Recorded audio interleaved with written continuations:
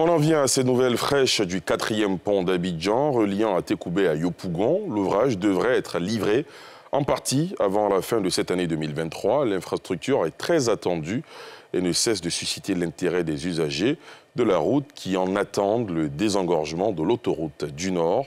Les précisions de Nadia Edja et Eric Kimou.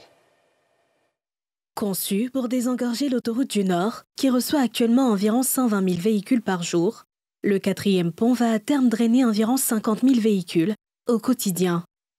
Un ouvrage fortement attendu par les usagers de la route qui s'impatientent.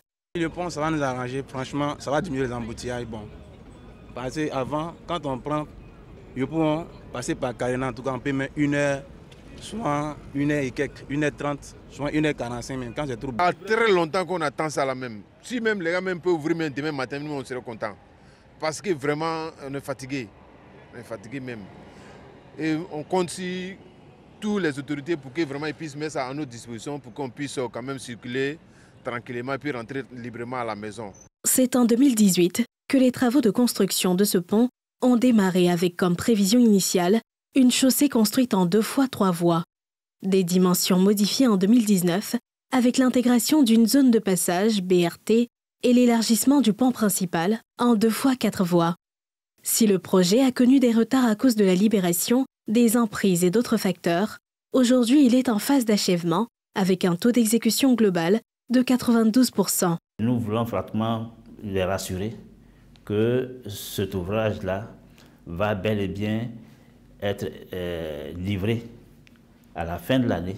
Nous ferons en sorte que ce pont-là puisse pratiquement permettre de désenclaver Yopougon et euh, faciliter euh, non seulement les déplacements, mais améliorer leurs conditions de vie. Précision, cette livraison est partielle et concerne la première partie du pont, allant du quartier Santé 3 à Yopougon jusqu'au-dessus du boulevard de la Paix à Boribana à Djamé.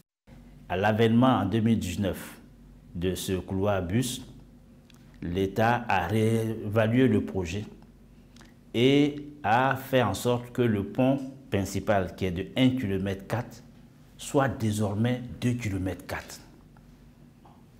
La première section, qui est 1 km 4, c'est celle-là qui est terminée. La deuxième section, qui fait 1 km, qui part depuis la mairie d'Adjamé jusqu'au sapeur-pompier de l'Indénier, soit environ 1 km, constitue la deuxième phase du projet. Toutefois, les Abidjanais pourront monter sur le quatrième pont à partir du boulevard de la Paix et descendre du quatrième pont en venant de Yopougon par le boulevard de la Paix. Pour l'heure, la date du démarrage des travaux de la deuxième phase du projet n'a pas été communiquée. Le PTUA procède pour sa part à la libération des emprises sur cette section. Évaluée à plus de 154 milliards, dont une partie pour les indemnisations des populations impactées, le quatrième pont va comporter des postes à péage.